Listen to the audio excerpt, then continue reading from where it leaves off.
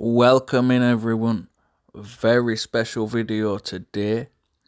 I have got a ton of footage and info on the new portal for the event Abyssal Mist. It's all brand new. There's two brand new heroes, Lucius and Dokkio. Probably saying it wrong, but anyway, I've got info on the two new heroes at max stars and level 60 and I've got a ton of info about the portal as well. So let's get into it. These are the enemies that you will find in the portal. We've got the Abyssal Warlock and the Abyssal Zealot. And I want to talk about this one's power uh, because it's a new thing. And I've seen a little bit of debate going on on Discord when they released the post. So I wanted to show you, I've got footage so I can show you the actual skill itself.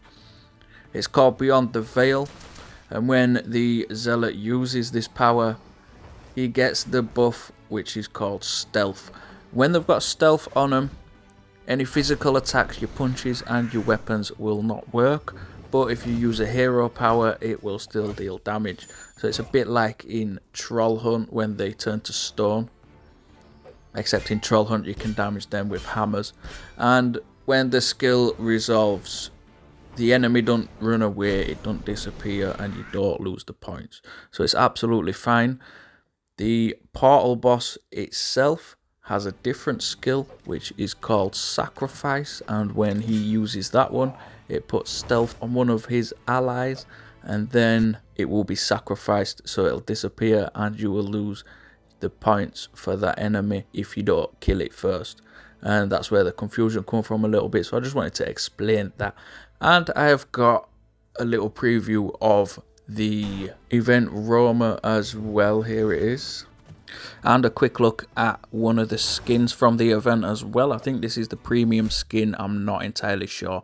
And i think that is the cape from the event track and this is concept art for the event guild boss and what it looks like in the game as well. And then quickly moving on, we've got the heroes, Lucius and Dokkio. I am quite excited about these heroes. It's a massive move for knighthood. The first one is Dokkio. He is a dark mage, so he's going to want them dark tomes. Both of these heroes are making massive moves to bring a little bit of consistency throughout the classes and make them all viable for the expert rift and Karnheim sort of stuff. That doesn't mean to say that all the classes are made equally, but that's a video for another day. Let's pause for a second and get into Dokkio's abilities. So on his base power, it gives 50% rage, so it's a little bit like Brutus. I imagine it might give a little bit more rage if you use it with a mage gauntlet, but we don't know yet. It attacks a single target and it dispels all of their buffs, and it has a chance to give you focus for one turn. So even if it don't give extra rage, with a mage gauntlet, if you use it with the rebel gauntlet, which gains rage from you getting buffs, then it's going to give you about 75%, somewhere along them lines, just from its base power. So, yeah, it's going to be quite powerful.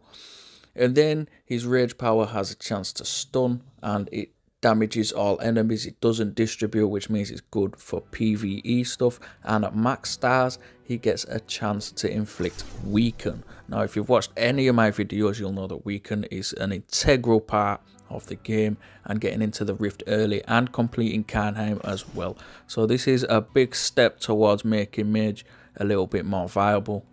And here are the base powers in action. I don't know what gauntlet is being used in this clip, but as you can see, it gains 50% rage. I've slowed the, I'm going to play it back and slow it down a little bit. You can see it with no rage there. And then using Dokkio's base power, it gets 50% rage. And then this is what the rage power looks like as well. It is quite flashy. Uh, looks pretty cool. And it damages all enemies. So it's going to be quite powerful with the mage charms. And then we've got Lucius, the unique hero. This is the one that I'm excited about. These are the stats at level 60 and max stars. Now, if you directly compare this hero to Dokkio, He comes with weaken on his rage. You do not need to get him max stars, which is a bit of a downfall for Dokkio. You're going to have to spend a few gems and open quite a lot of chests to get that max stars to enable him to weaken. With Lucius, you don't need to come straight out of the box, weaken on rage. The rage is distributed, which is not so good versus PvE, but it's still a huge step up for the rogue class. And with this hero on board, Rogue class is now a lot more viable for the Expert Rift and Karnheim and all that stuff. The base power heals, which is good, makes it a lot more viable just to start with. And it has a chance for one turn protect. Now, if I were to use this hero in the Rift, I wouldn't rely on that one turn protect. I would still take protect on the weapon. But the fact that it heals you and he's got the heals already, so you don't need a second hero for heals, which is another problem Dokkio has. You can take any other hero, so if you've got the Rogue Charms, I would probably take, normally with Warrior, I take Logan and Garen. You can straight up swap that and do Lucius and Samael and achieve exactly the same thing. And then if you do manage to get this hero max stars, I know max star unique is a little bit wild, but if you do manage to get this hero max stars, you will get focus for three turns from his base power.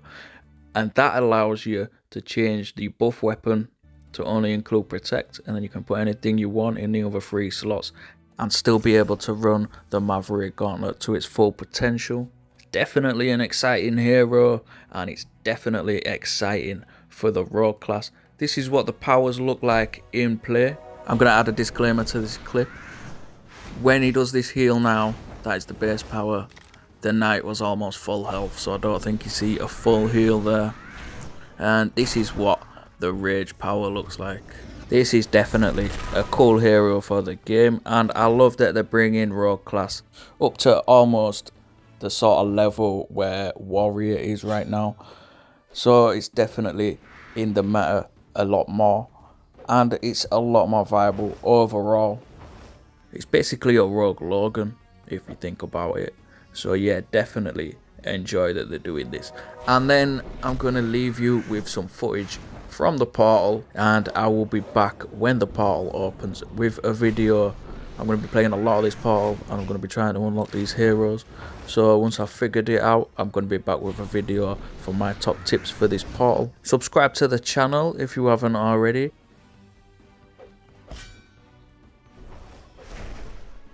I have been Jamez B09. Good luck out there.